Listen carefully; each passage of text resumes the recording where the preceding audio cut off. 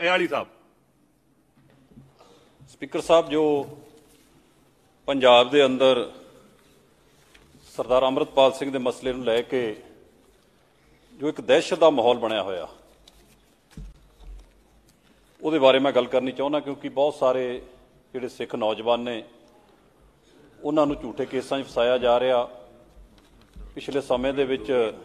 ਪੰਜਾਬ ਨੇ ਬੜਾ ਸੰਤਾਪ ਹੰਢਾਇਆ ਖਾਸ ਤੌਰ ਤੇ ਸਿੱਖ ਨੇ ਜਿਹੜੇ ਉਹਨਾਂ ਨੂੰ ਅੱਜ ਪੰਜਾਬ ਦੇ ਵਿੱਚ ਗੁਲਾਮੀ ਦਾ ਅਹਿਸਾਸ ਕਰਵਾਇਆ ਜਾ ਰਿਹਾ।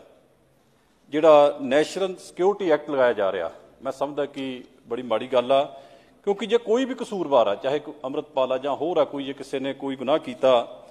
ਤਾਂ ਕਾਨੂੰਨ ਦੇ ਦਾਇਰੇ ਦੇ ਵਿੱਚ ਰਹਿ ਕੇ ਉਹਦੇ ਤੇ ਜਿਹੜੀ ਇਹ ਕਾਰਵਾਈ ਹੋਣੀ ਚਾਹੀਦੀ ਸੀ, ਲੇਕਿਨ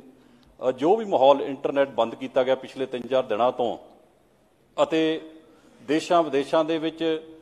ਖਾਸ ਤੌਰ ਤੇ ਐਨਆਰਆਈ ਜਿੰਨੇ ਵੀ ਸਿੱਖ ਬੈਠੇ ਨੇ, ਅੱਜ ਉਹ ਪੰਜਾਬ ਦੇ ਮਾਹੌਲ ਨੂੰ ਲੈ ਕੇ ਬਹੁਤ ਹੀ ਜ਼ਿਆਦਾ ਚਿੰਤਕ ਨੇ। ਸੋ ਜਿਹੜੇ ਵੀ ਬੇਕਸੂਰ ਸਿੱਖ ਨੌਜਵਾਨ ਨੇ, ਜਿਹੜੇ ਪਿਛਲੇ ਕੁਝ ਦਿਨਾਂ ਤੋਂ ਪੰਜਾਬ ਦੇ ਵਿੱਚ ਵੀ, ਖਾਸ ਤੌਰ ਤੇ ਮੇਰੇ ਹਲਕੇ ਦੇ ਵਿੱਚੋਂ ਵੀ, ਜਿਨ੍ਹਾਂ ਨੂੰ ਬਿਨਾਂ ਵਜ੍ਹਾ ਗ੍ਰਿਫਤਾਰ ਕੀਤਾ ਗਿਆ, ਸੋ ਤੁਰੰਤ ਉਹ ਸਾਰੇ ਜਿਹੜੇ ਨੌਜਵਾਨ ਨੇ, ਉਹ ਰਿਹਾ ਕਰਾਏ ਜਾਣ ਅਤੇ ਪੰਜਾਬ ਦਾ ਜਿਹੜਾ ਮਾਹੌਲ ਹੈ, ਇਸ ਨੂੰ ਜਿਹੜੀ ਸ਼ਾਂਤੀ ਬਣਾਈ ਰੱਖਣੀ, ਇਹ ਬੜੀ ਜ਼ਰੂਰੀ ਆ। ਸੋ ਜੋ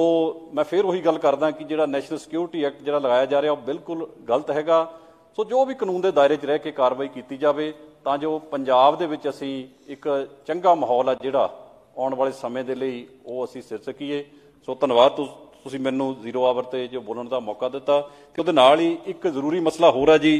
ਕਿ ਜਿਹੜੀ ਹੁਣ ਆਪਾਂ ਅੱਗੇ ਕਰ ਜ਼ਰੂਰੀ ਆ ਜੀ ਬੜਾ ਜ਼ਰੂਰੀ ਆ ਜੀ। ਸਾਰਿਆਂ ਦੇ ਇਹ ਵਾਲੀ ਸਾਹਿਬ ਇੰਸਪੈਕਟਰਾਂ ਦੀ ਭਰਤੀ ਹੋਈ ਆ ਜੀ। ਤੁਸੀਂ ਸਬ ਮੇ- ਸਾਰੇ